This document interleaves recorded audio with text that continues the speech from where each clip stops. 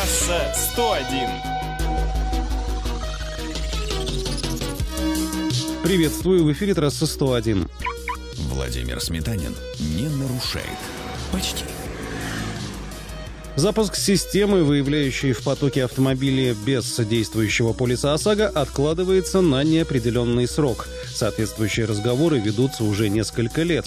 В конце 2022 в Российском союзе автостраховщиков заявляли, что проект будет реализован в течение 2023 Однако не все так гладко.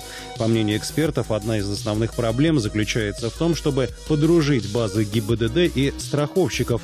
К тому же полиция опасается за безопасность личных данных автовладельцев. Трасса 101. Старт продаж обновленная «Лада Веста» переносится с марта на апрель этого года. Ожидается, что на первых порах модель будет предлагаться с 8-клапанным 90-сильным бензиновым мотором, который устанавливается на «Ладу Гранта». Ближе к концу весны должна появиться версия со 106-сильным 16-клапанником. По поводу стоимости Весты NG информации пока нет. В одном из дилерских центров «АвтоВАЗа» заявили, что ценник нормальной комплектации будет близок к 2 миллионам рублей. Трасса 101. Рамный внедорожник Танк 500, который называют китайским аналогом Land Cruiser 300, будет стоить от 5 до 6 миллионов рублей. По данным российского дистрибьютора марки, гарантия на модель составит 5 лет, либо 150 тысяч километров пробега.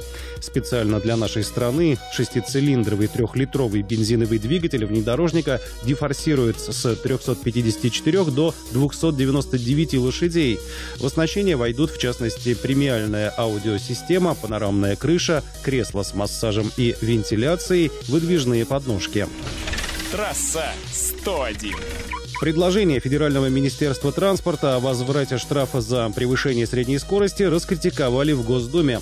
По мнению главы Комитета по транспорту Евгения Москвичева, такое наказание не приведет к снижению числа ДТП.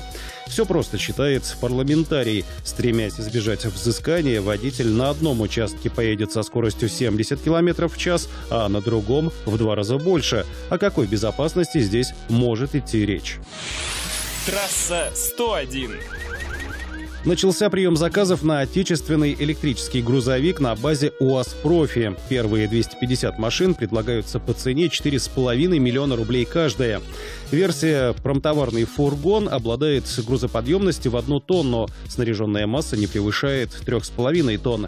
Электрокар оборудован 109-сильным электрическим мотором. Запас хода до 300 километров. Зарядное устройство идет в комплекте. Для полного заряда батареи потребуется не более двух часов.